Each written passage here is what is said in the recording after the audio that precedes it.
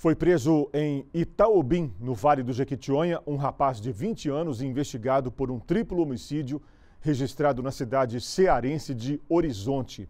A ação criminosa aconteceu em fevereiro deste ano.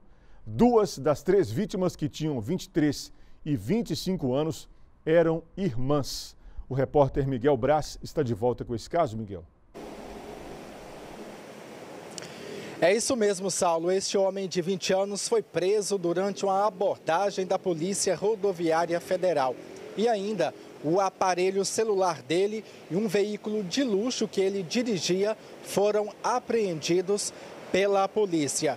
De acordo com as autoridades, contra ele já havia sido expedido um mandado de prisão pela Justiça do Ceará. A prisão foi resultado de um trabalho conjunto entre as polícias civil de Pedra Azul, Itaobim e também do estado do Ceará.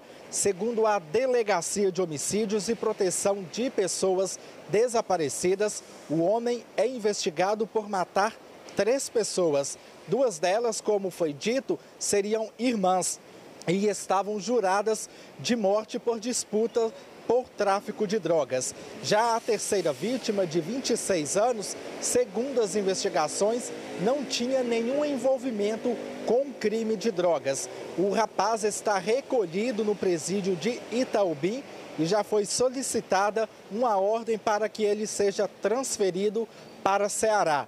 O crime aconteceu no dia 21 de fevereiro deste ano, durante uma festa de carnaval na cidade de Horizonte, cerca de 2 mil quilômetros de Governador Valadares. Eu volto com você, Saulo.